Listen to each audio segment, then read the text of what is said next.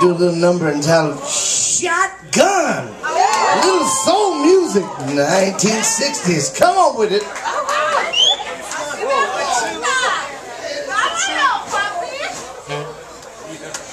Security. That's right outside. That's right.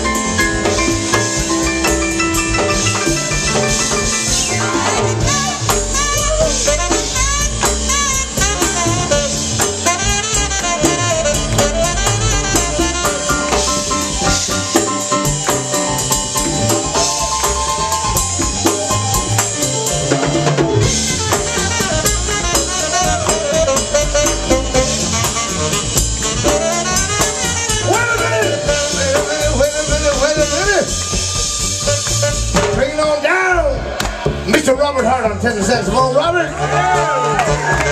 With Danny Lang on piano. Andy!